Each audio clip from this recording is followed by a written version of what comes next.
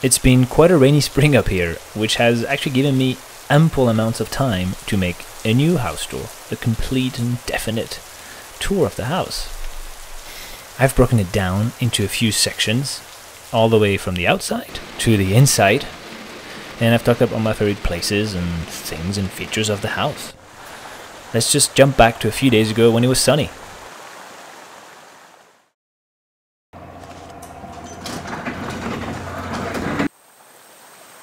I'm a pretty big believer that the most important part of a house is actually where it sits. Because I spend so much time outside that, I mean, I only come to the house to cook, to work, or to sleep, but the rest of the time I'm just outside. And if it's somewhere that is inspiring and that makes exercise and just mindful time in nature more accessible, then I think it's much more important than what's inside the house to me.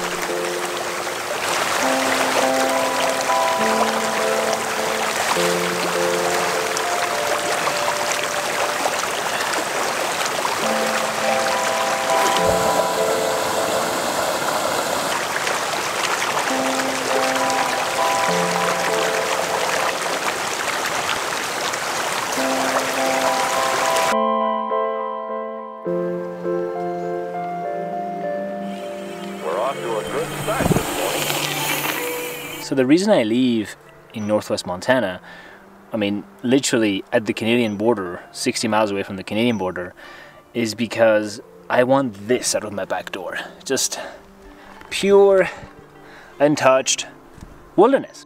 And we chose this piece of land, which sits on a ski resort, just so there could be frictionless access to the mountains and to all this. I mean, I, I can can leave the house and go for a run, go for a hike, go for a bike ride without ever thinking about getting in my car. That's the magic of it.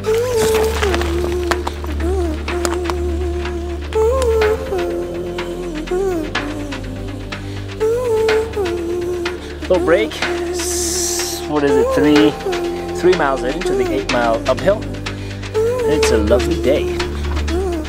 This is the Bear Club. Look how cool the trees look. They go arrows into the sky.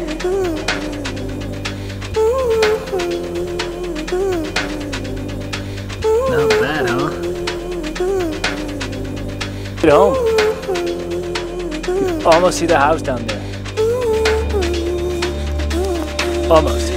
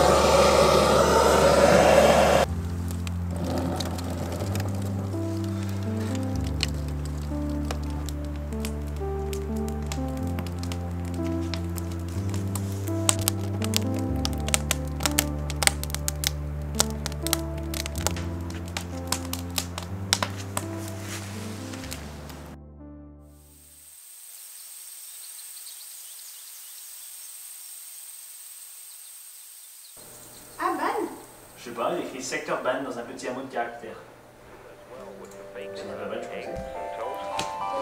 Welcome to the loft.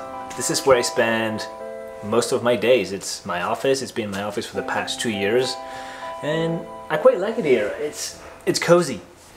It's good temperature. I have this little exercise ball, medicine ball, as a chair.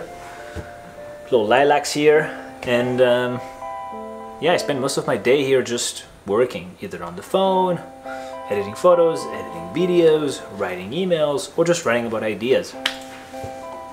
And I can't stress how nice it feels to be under this big sort of roof and be able to see the forest that way And that way, and just knowing that Andrea's downstairs doing her things too, you know, it's very wonderful to work up here. We thought we'd put the TV away from the main living room and put it upstairs so there's its own space and it doesn't interfere with social interactions. We went with an LG OLED and then a Sonos soundbar. There's also another reading corner here with a little chair and ottoman and a big sectional from Rove.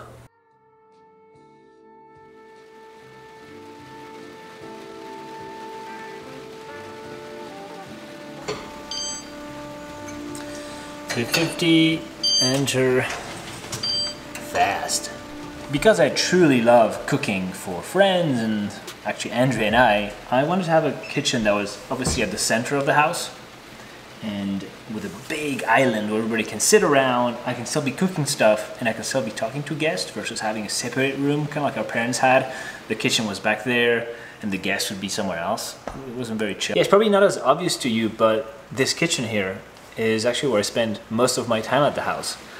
I feel like I have total creative freedom over this space, total freedom to make a big mess, although Andrea doesn't like it.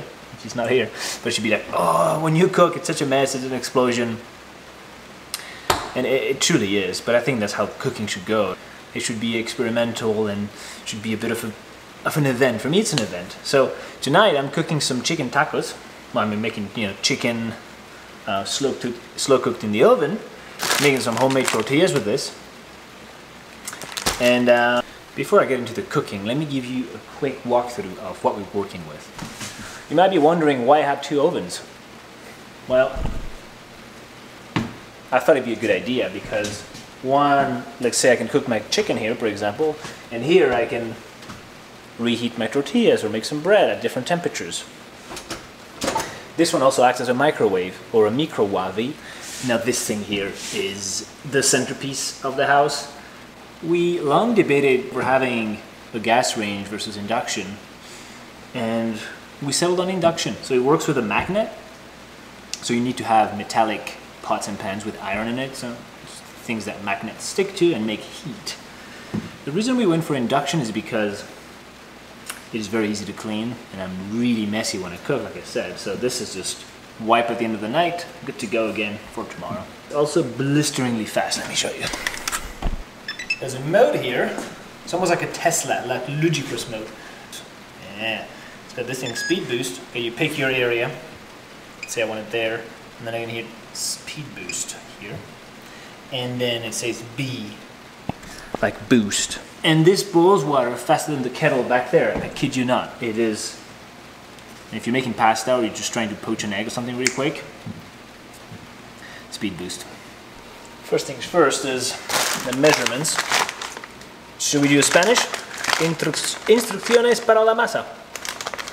Mezcle dos tazas de harina de maíz más seca con una y media de agua. So two flour, one and a half water. Water if you're from New Jersey. Mezcle bien durante dos minutos, two minutes mixing, cool, hasta formar una masa suave. For chicken here in Mexico, they do naranja agria, bitter orange. So I do a mix of that usually and a bit of chicken broth because I don't have enough bit of orange. A little bit of pepper, peppercorns in there, chili powder. You know, you add some spice to it. Cloves, I think cloves is cool. Oh, French secrets in there, you know. Got my chicken in there, and uh, I'm gonna finish it up with a little bit of salt. A little pepper as well. Keep adding a bit more salt. Okay, the chicken is in, and I'm gonna leave it for hour and a half. Should be enough at 350. Slow. I have to make 30 gram little balls of 30 grams of flour. I have a little scale here, my coffee scale. 30.5. Pretty good. So this is our scale. No, we just do it with one, right? And then we all make them this size. You gonna help me? All right, done.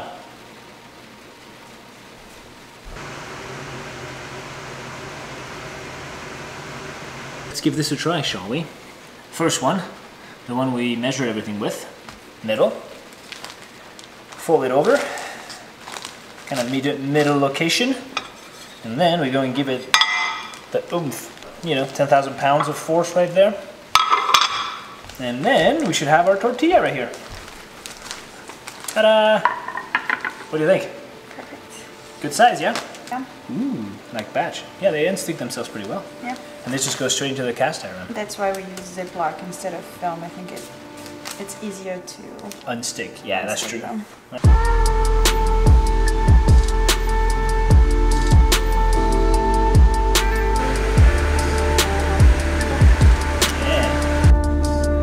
Just got the last of the tortillas out. We have a healthy pile, 22 I think.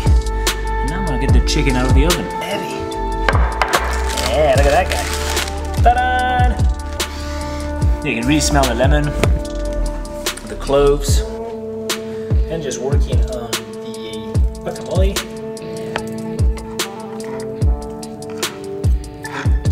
Nice whole feature. Let's say you're waiting for your guest, done with your chicken or whatever you've cooked. You hit warm and it just keeps it warm.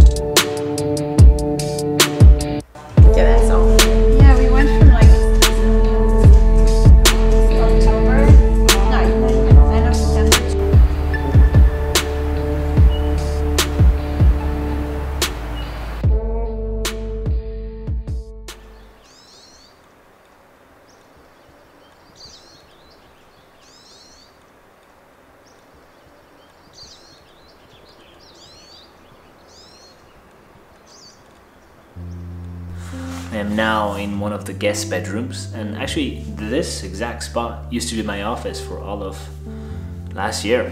What I like about this room is the blue glass style. It's made by a Fireclay. They're in California, and they make everything by hand. So what's cool is that none of the tiles are the same. They're all a bit different. And if you look at a wall from far away, sometimes it just you can see imperfections, but I think that's cool. It's it's a good change from like the perfect subway tiles you see lined up in restaurants. There is uh, also to my left is Andrea's project, which I like. To, to my left is the what I like to call Andrea's projects.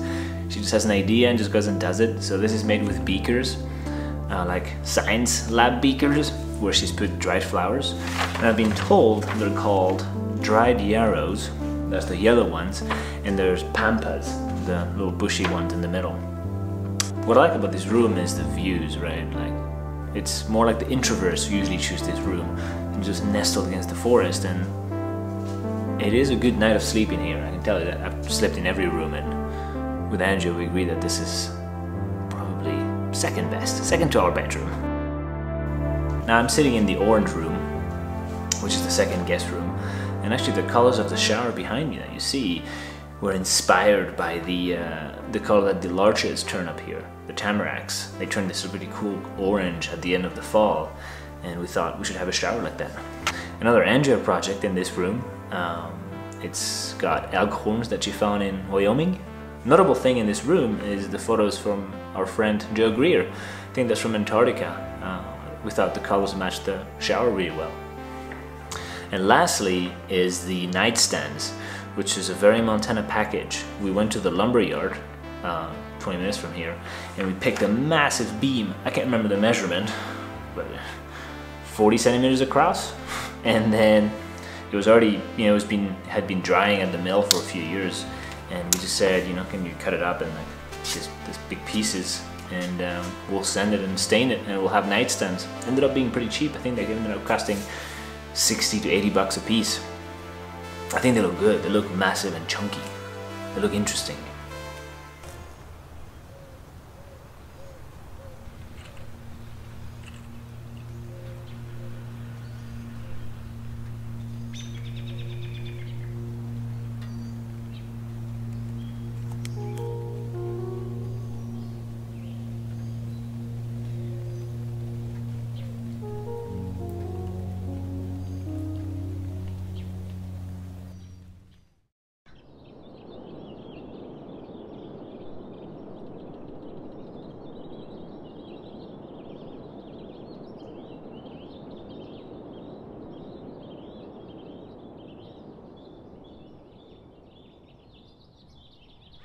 Just sitting here by the fireplace, which is probably my favorite feature of the house.